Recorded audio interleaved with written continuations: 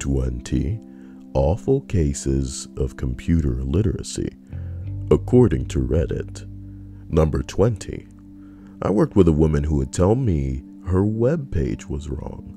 She didn't have a web page. It took me a while to figure out that she meant her desktop display. okay. Her excuse? I can't remember all those terms. You just have to know what I call stuff. I had to do support for the whole office. She thought it was perfectly reasonable that I should learn 12 different names for common computer things instead of her having to learn the correct ones. She was also a bitch, but uh, she's she's also dead now. I don't care. I like this. Come on now. She's also dead now. If I promise to learn your terms, will you let me live? oh, Kyle, you're just having a jolly old. You, you know, the list don't normally start off in a way that make me go, no, no, that's pretty nice. Yeah, I'm sure this whole list is gonna be fucking cringeworthy. Just, just a nightmare for people who are savvy in anything technologic. Which is a song by Daft Punk by it. Okay, that's enough. Uh, I've mentioned, no, says number 19. I went back to college last year and I am stunned by the computer illiteracy of some of these kids in their late teens and early 20s. Yeah, I'm an ex IT person, but I adapted to this life. Okay.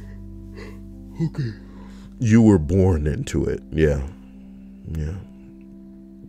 I'm not just talking about knowing how to use, let alone create templates in Word or how to save files on a thumb drive or back up your data, though that's crazy too.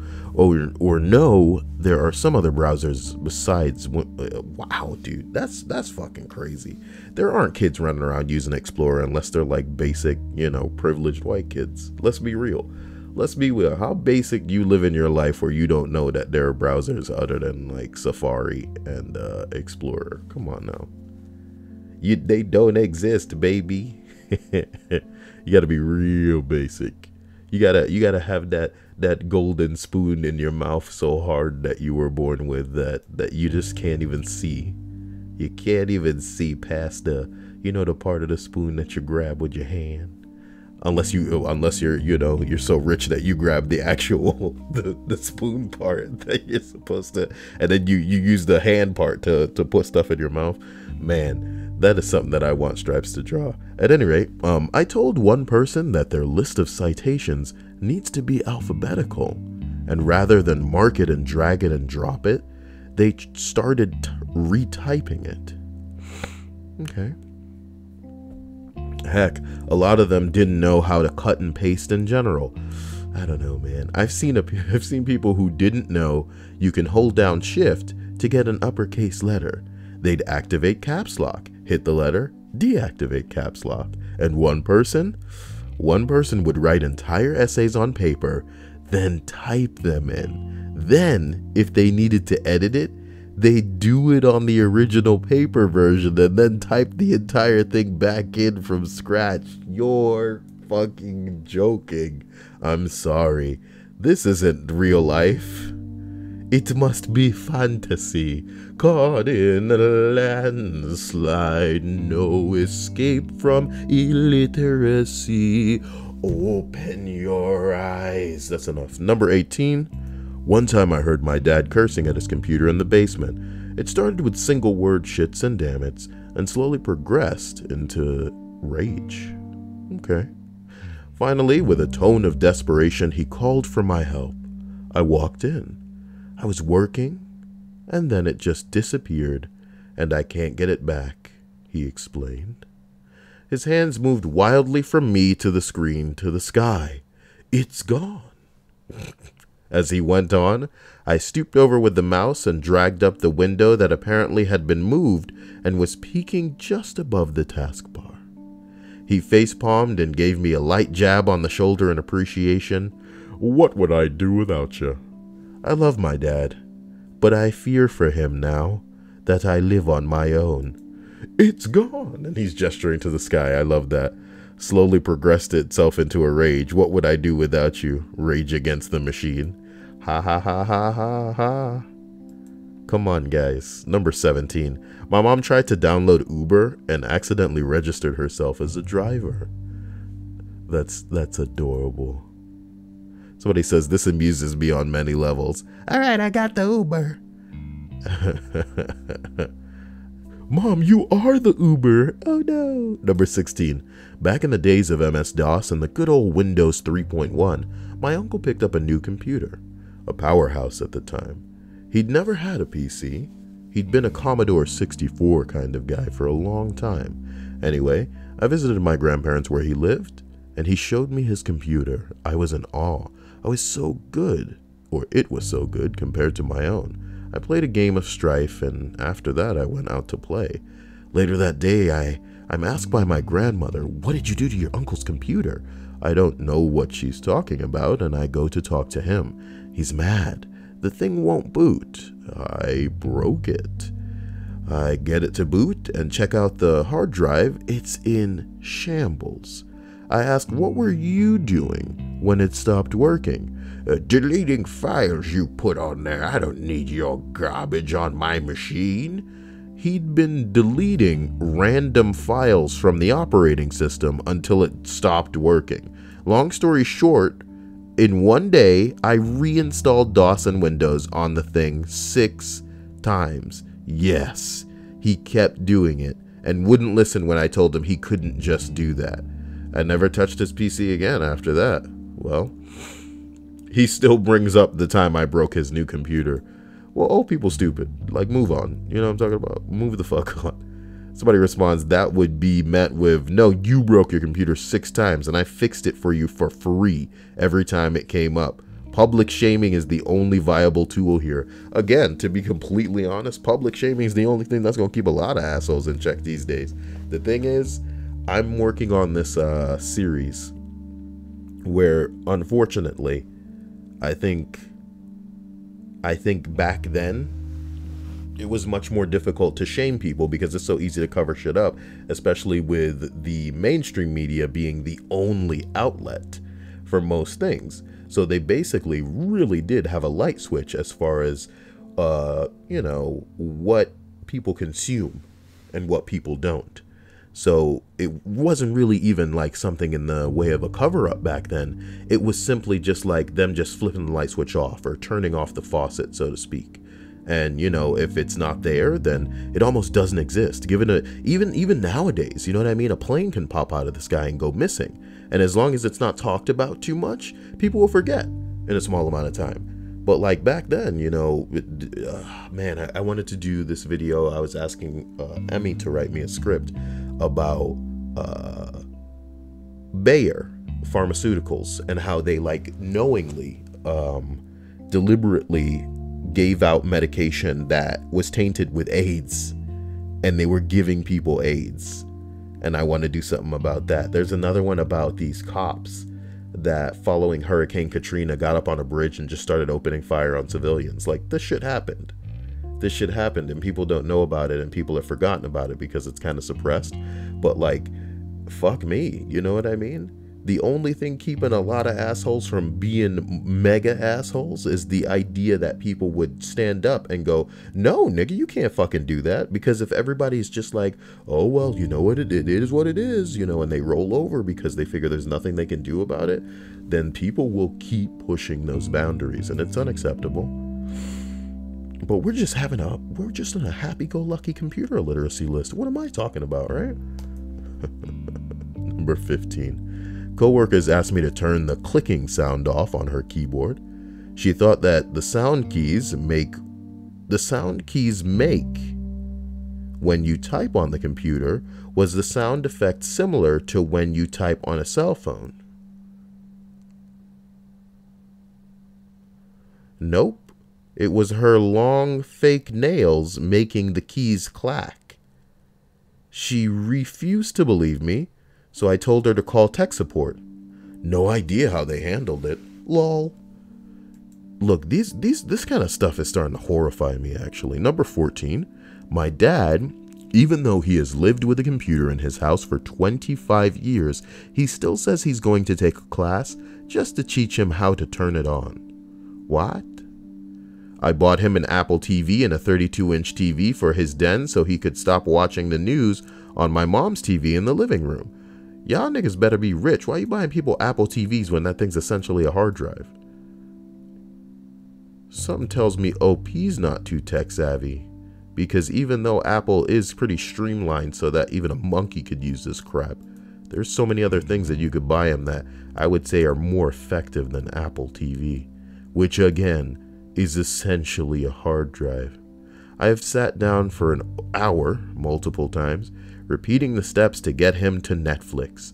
Wrote down each step in depth, mind you, even went as far as labeling every remote in the house so as to prevent any confusion. Still got to the same call I do, say, still got the same call I do every week. My Netflix is down again. You come fix it, Pop. what? When I get there to troubleshoot, I realize he has somehow hidden the Netflix app off the main menu of the Apple TV, and I had to go into settings and turn it back on. I barely, I barely knew how to do that. He could stumble through a computer and do more damage to it in five minutes than I could if I wanted to maliciously harm it. A response here reads, I think he just wants to spend more time with you. Yeah, he may be looking at them YouTube videos, how to sabotage a computer to get your kids to come I'm kidding. Um, in response to the response says, Yeah, someone once told me it's the only way he knows to relate to my generation. Regardless, I do it all over again and again, and I'll keep doing it, but I'll complain the whole way. Somebody responds, Oh, here comes the perspective in the first fucking five words. When my dad passed away, here we go. I went through my phone and found a bunch of voicemails I never deleted from him, most of which were him asking for help with his computer. I never thought I'd appreciate this technological caveman status until I got to hear his voice the day after he passed. And you can't help but laugh through the tears as he complains how Mozilla got back on my computer and I must have a virus. Let a few calls go to voicemail and save them. You'll be glad you did. I don't like that he ended it with this. He should have ended it with something more corny like, I wish I could come fix your computer now, Dad. I'll come fix it in heaven, you know, some shit like that. some hokey bullshit that would be in the, um, oh man, like in a, you know, TV show. Okay, I, I genuinely just. I genuinely just stood up to stretch. Um, in case you're curious, uh, I did not get the chance to record a whole bunch of videos and then schedule them to uh, be released. So I'm actually recording this in Lakeland, and uh, yeah, I'm sitting in a chair, which is not how I normally record. Whatever, everything's different. Whatever. What uh, response to the response to the response says I work as a software tester and have done so for almost 17 years.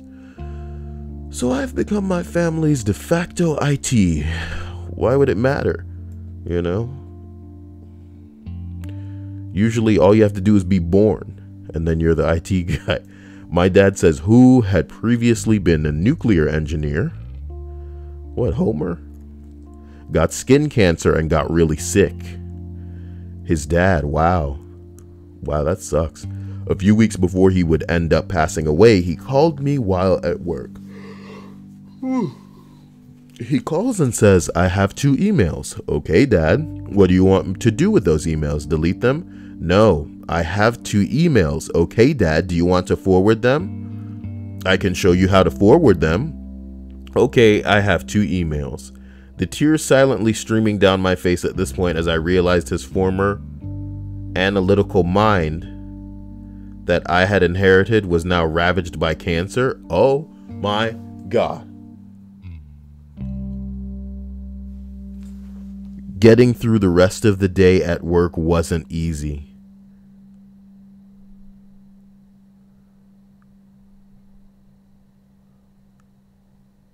Oh my God. I didn't expect it, to take a, a fucking cancer turn and how his mind had been fucking lost to it. That's horrifying. I I picked this because I thought it'd be like a happy-go-lucky mom doesn't understand how to fucking turn some shit on and and is too you know proud to YouTube it or some shit list. And here we go. We're in the monkey balls, you know. Dad comes in and he's like, "Wait a minute, what's all this stuff on my desktop?"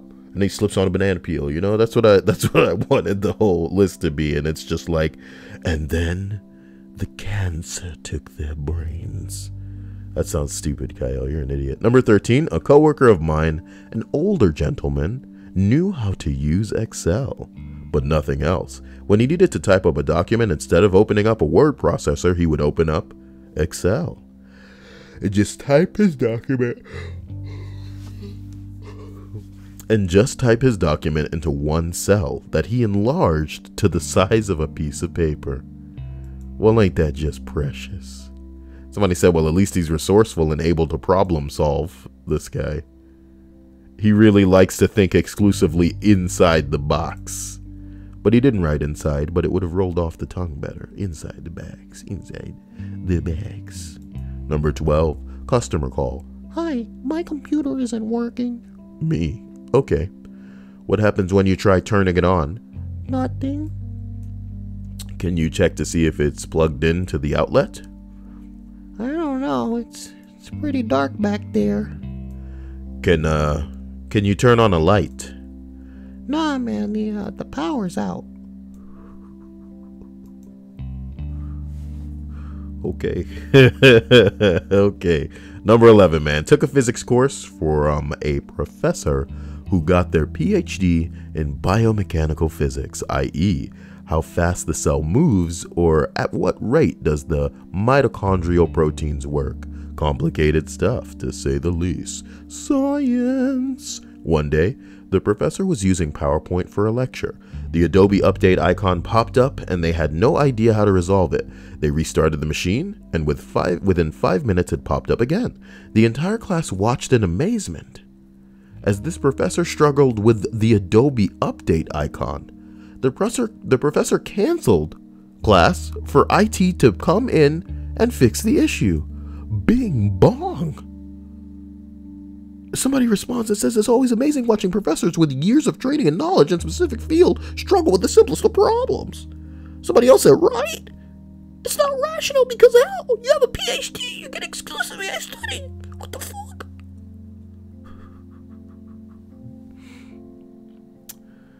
Look, let's move on, man. I don't have time for this. Yeah, the window in which I have to record is closing so fast. You guys don't even know. Why am I even tempting fate when I need to just make it to the end? What if I have to stop before it's over? How unprofessional would that be? Kyle, unprofessional, making g- lists on my recreational YouTube channel where I never go off topic and total number nine. No, no, number ten. What's wrong with your nose? It's like filling up again. Oh no. The first email my dad sent me when I went away to college, and the first email he ever wrote didn't have any spaces in it. It was just one long word dotted with occasional punctuation. He didn't know what the spacebar was and thought the computer would just add the spaces automatically.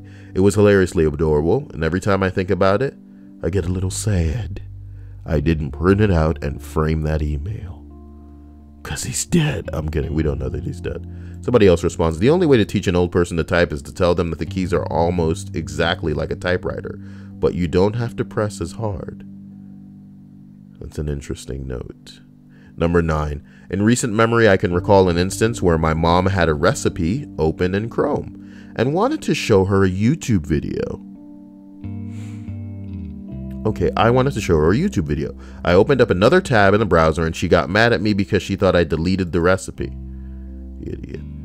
The response reads Just remember, she had to teach you how spoons work. That's crazy that I said that. It's crazy that I said that, right? Because earlier I made the joke about, you know, how the rich were born with the, the spoon in their mouth and maybe maybe they were so fucking I don't know. I'm so sorry. No, oh.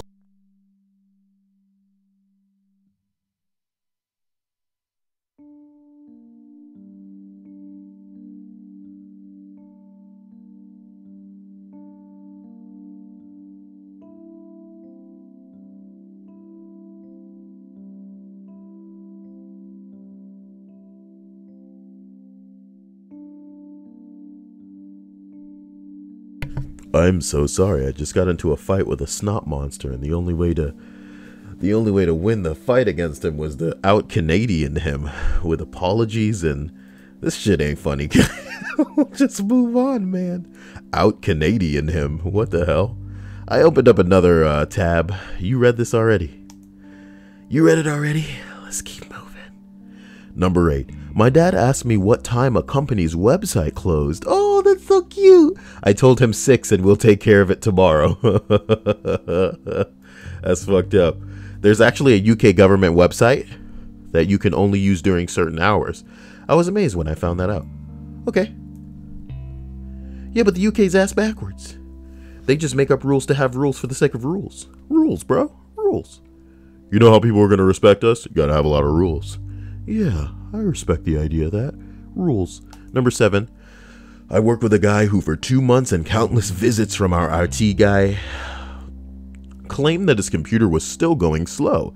So the IT guy set a dead computer tower, which isn't even plugged into anything, next to the one that he was using.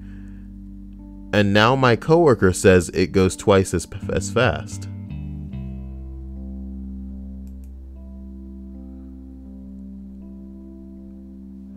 Is this an inside joke? Somebody said it's called the placebo effect. Shut up. It's like it's like the car joke, I'm guessing, you know? Where like the car is slow, so I put like a, a, a stationary car next to it and now it goes twice as fast. Or it's almost like put painting an S on the side of a car, so when, when, when it goes by, people will go, look at that S car go. What? Number six, my uncle has step by step instructions for uh, accessing his email, which is the only thing he does on his computer. Anytime he makes a mistake, he shuts down the computer and starts over. He also moves the mouse into position, takes his hand off completely, then pokes the button very carefully. Oh.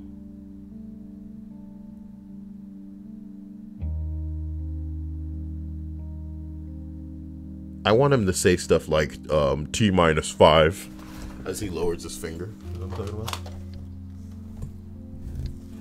Oh boy, I'm like checking things around me. You know, you have no idea. You have no idea. This is crazy. If you only knew. Number five, my mom seriously thinks she can only access email from the computer on which it was set up. She has created a new email address for each new computer she got. Oh. A response says, My grandmother flipped out when I showed her how to access her Hotmail while on vacation. In another state, she watched mesmerized as I showed her how one can log in from anywhere as long as you have the correct username and password. The following week, she sent a mass email to the family expressing her concerns about how nothing on the computer is safe. And I was able to hack into her computer from Florida. Okay. You must be that 4chan guy. Idiot. Not, not, ugh, I don't know. Whatever. Number four, I worked in tech support in the mid 90s at a company. At a company where computers for admins and sales were a relatively new thing. So I have a million stories. Yeah, let's stick to one of those, okay, buddy? I got a call from an employee insisting her new tested mouse wasn't working. Went through all of the questions is it plugged in? Do you see the arrow on the screen? And could hear her clicking, so I knew she was at least doing something. I finally went to her desk and saw that she was using her mouse up against the monitor trying to click the things right on the screen instead of understanding the mouse on the desk, cursor on the screen. Set up a She ain't that far off, you know what I mean? Because the crazy thing is, is a lot of that innovation comes with what a person wants to do. You know, for the longest time, people would see a screen and their hand would reach out and want to touch that screen. And this is why we can give a lot of our devices to kids now and they fucking get it because it just works the way that you look at it and, you know, want it to work. But for a while, we didn't have touch screens. And then one day, people, we was like, you know what, we got to big out. We got to flip out the flubbles. Number three, I work as a tech support guy. No, I work as tech support. Where did the uh come in? At a university. So computer literacy keeps me employed. There's one professor I've had to teach to right click on multiple occasions. Also, just last week, a woman, corporate client, called about a strange message on her computer. Outlook had detected she moved time zones and asked if she wanted her laptop to change times to reflect her new location. It's just asking me if I want to adjust your email to a new time zone since you're, you know, an hour earlier here. So I'll get my emails an hour earlier then? Some people really think computers are magic. What the fuck? Number tw- two. Number two. My grandfather, God bless him, in his late 70s, just learning how to use a computer. And he would enjoy spending an hour or so in the evenings getting creative using the Paint app on his laptop. I was talking to him about replacing the ink in his printer as it was running low. Then a look of horror came over him and he leaned in closely and said, I've been using the Paint app on my computer. How much ink have I been wasting? He thought he was using paint on his computer without printing it and using up his ink. Bless him. Somebody said, That's actually so adorable. Like, oh my gosh, it's like a little puppy. fucking losers. Number one, I used to work as the tech guy in high school. Wait, is that like a clock going off? That's like a clock going off. I hope this has been loud enough for me. Yeah, I think it's fine. I think this is fine. Number one, I used to work as a tech guy in a high school. One day, the head teacher's secretary called me to reception because the fax machine wasn't working. I had a look at it, and it seemed to work fine. So I asked her to show me what she was doing when the fault occurred. So she put the document in the slot, typed in the number, the machine whirred up, and the document popped out the other side as normal. You see? she said. No, not really. What's the problem? She looked at me like I was a complete and utter moron, snatched up the document, and started waving it at me. It's still here.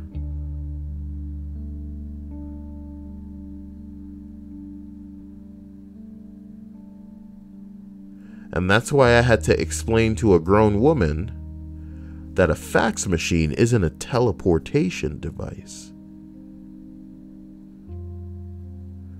Okay.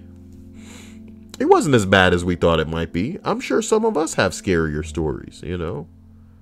Us like stories so bad that we'd probably get in trouble for telling them because, you know, people would be ashamed apparently of themselves if it got out. There's nothing to say though. I love you guys. Um, you know, I really tried to find something cooler to do here but I just couldn't find anything genuinely interesting. It's ridiculous, really. A lot of them ridiculous. Yeah, but I'm talking about this Danziger bridge shooting thing is following Katrina. A whole bunch of like cops just went out and started killing people. Pretty nuts. Pretty nuts. But yeah, if I can get a script together, I'll do that. Um, how are you guys? I'm in uh Lakeland. Hope you guys are doing well. And um, I can't wait to, I don't know, get back and deal with you dudes and dudettes. Take it easy and stay safe. Love you.